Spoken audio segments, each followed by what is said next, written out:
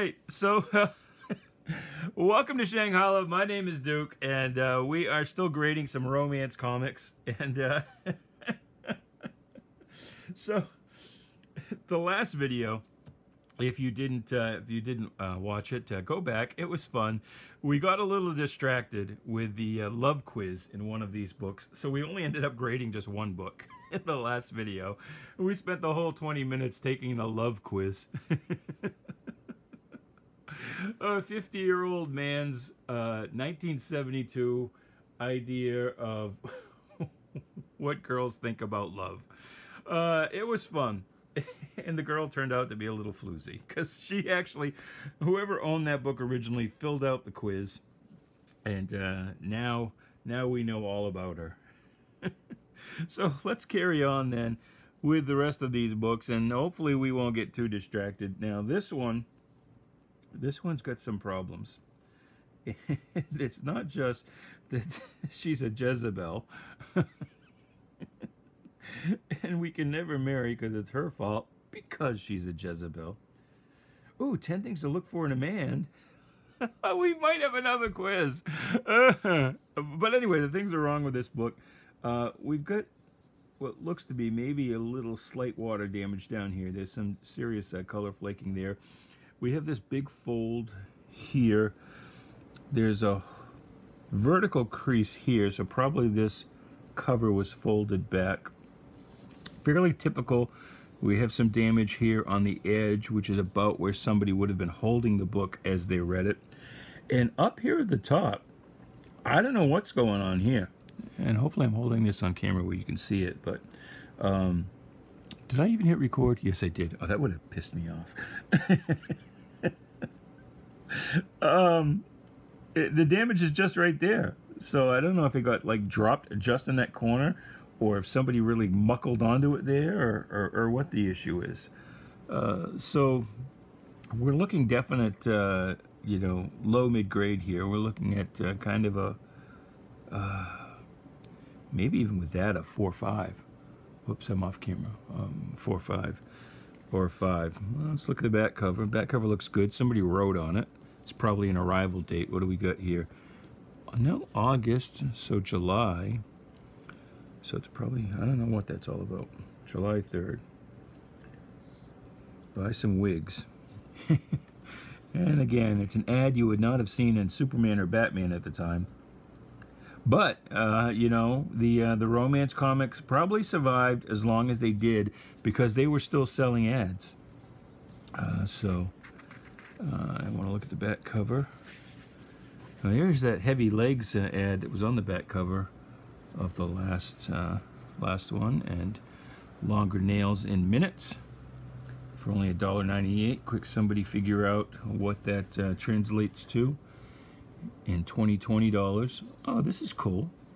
Um, this is uh, an ad for the Jack Kirby books in the Days of the Mob and Spirit World uh, and Kirby fans. So they're actually touting Kirby. So this is kind of in the age where they were just kind of starting to really push the creator over the creations.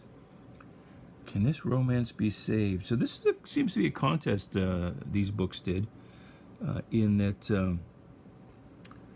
because um, this something like this was in the last issue. They have a little story, and then you write in with uh, whether they're going to make it or not. Oh, look at that! A uh, this is kind of I would say I don't want to say rare. Um, tummy trim. um, but black characters uh, in a uh, in uh, a DC comic. So this is like this is like way pre Black Lightning, and uh, I think she's a recurring character because did I see her somewhere else? Um, you know, she might have been DC's first black recurring character. I thought I saw her on a uh, one of these other books, or someone who looked like her, right there. Paige Peterson. Is that, does that say 70s or 90s? Oh no, just do's. Do's and don'ts of dating with Paige Peterson. Um, so I don't know. But that's interesting. Uh, and then more Kirby. They're really pushing Kirby here. The Kirby portfolio. I've never heard of this. Assembled from Jack Kirby's personal collection.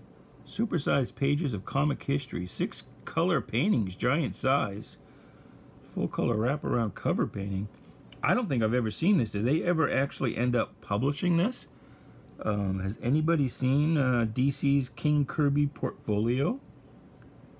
Four dollars would have been kind of hefty at the time. Again, somebody convert that to 20 20 dollars.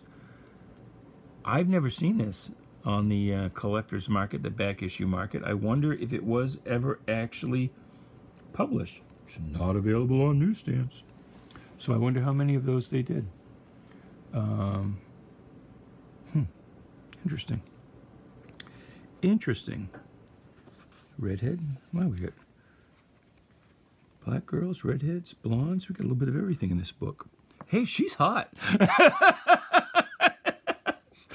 Sorry.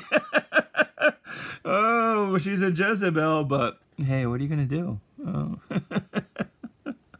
All right. So uh, I think this book is going to end up being a, uh, a 4-5 because you got a little bit of water damage down here and you've got that damage up there. So, my God, these romances are going to take forever to get through uh, because, again, I'm only on, uh, I've only done one book and we're like six minutes in. Romance comics are fun. this one's got a water spot right there and a little bit of moisture wrinkling on the bottom. Uh, again, a long vertical crease. So uh, girls apparently were not adverse to folding back the cover. And you've got some damage here. Oh, and we've got a, yeah, about an inch long rip right there. See that? So we are, we're down in the four range anyway. Oh, it's too bad. It's too bad. Not a very dynamic cover. Oh, wow. How many girls do you think liked fishing in 1970? What is it? Let's take a look here. Oops, gotta be careful opening that book. 1971. So uh, that's an ad that appeared on like almost all comics of the time. Uh, so, let's take a look inside.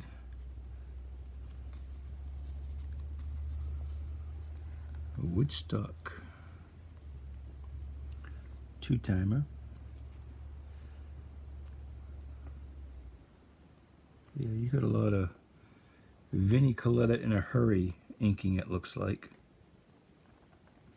That head looks like it was pasted on the body like it had to be redrawn. Uh, so centerfold looks good anyway.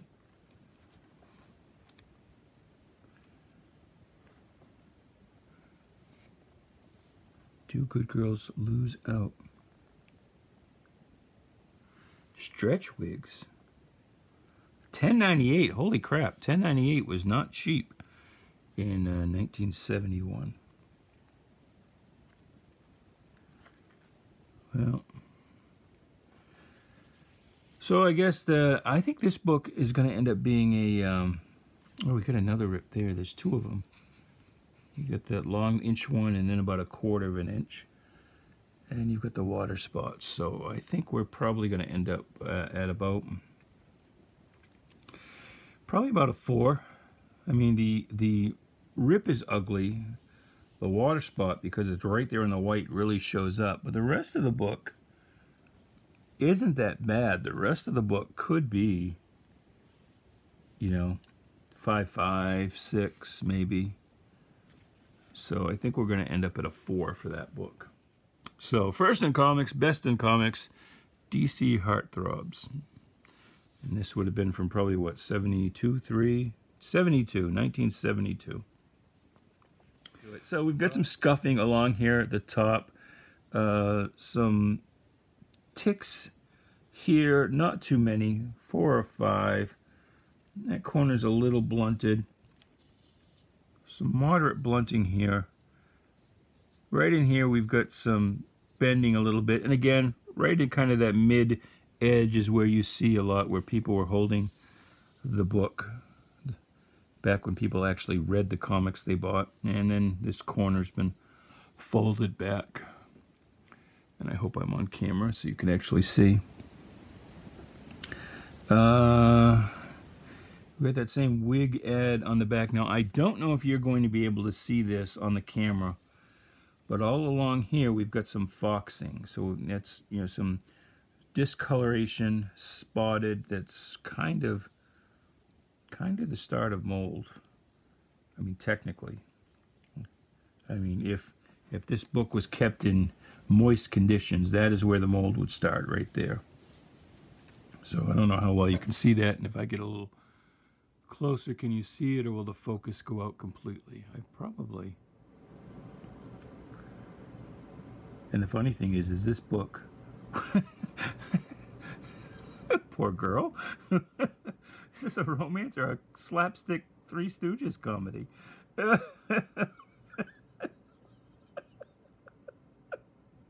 Somebody really went all in on that. Um, so... what was I saying? uh, was uh, that looks a little like Infantino. That's what that looks like a little bit. This whole thing seems like just a hodgepodge of of different art styles. Um, but I think this book is going to be a, a, five five. I can't quite go to a six because the um, because of this foxing on the back. Um, and it probably should go down to a five maybe. Somebody will complain that I gave it a five five. But the book, other than the you know the blunting here and here and a couple of ticks in there, a minor fold there, it's it's not that bad. You know, it's fairly presentable. Uh, so I think I am going to end up calling it a five five. All right, Millie the model.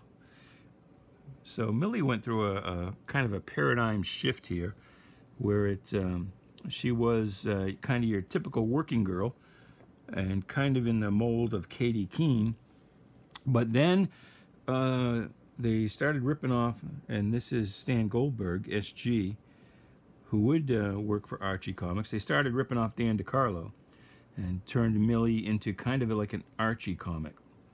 Like if you saw this on the stands, just from the art style, you might end up thinking that uh, this was an Archie. I mean, if you weren't quite clever enough to see Marvel Comics Group. Uh, so we get sort of a little light spine roll there. I don't know if you can see that.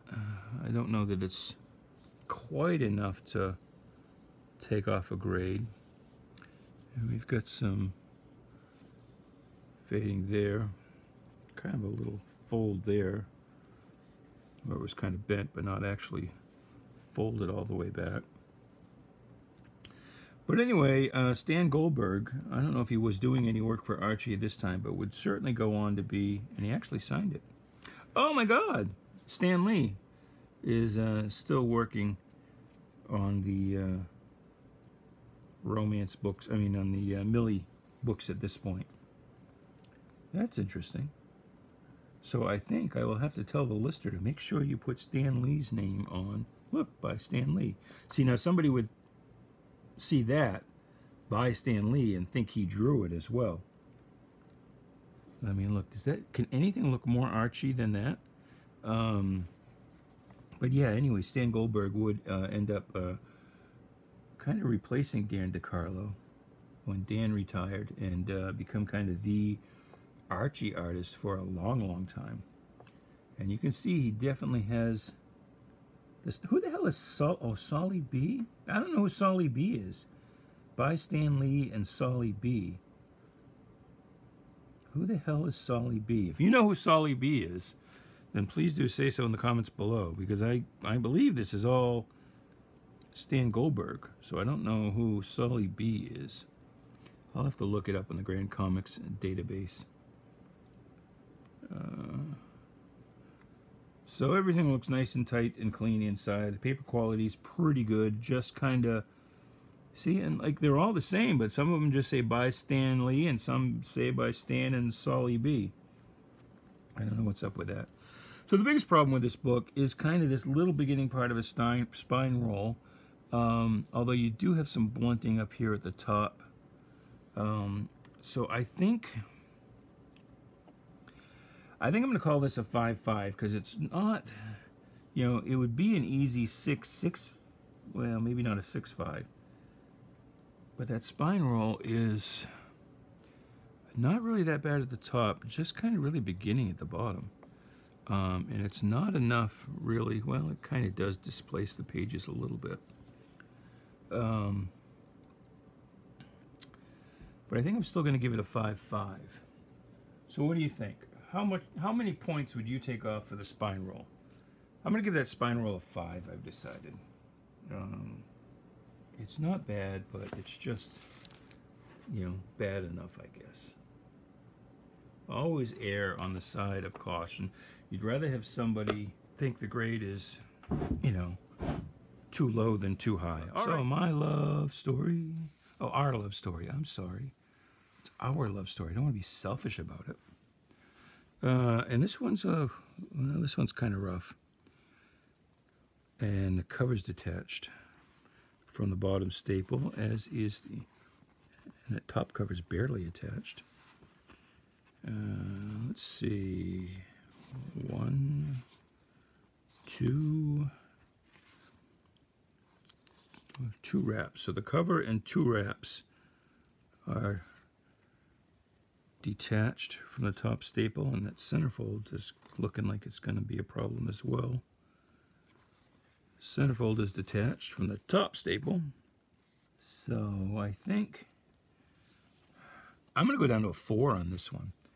Um, because again, you get some pretty heavy damage there with that staple problem. Some pretty heavy creasing there. That corner's all folded up. And then we got uh, stuff detached from both ends of the book. So I'm going to call that one a 4.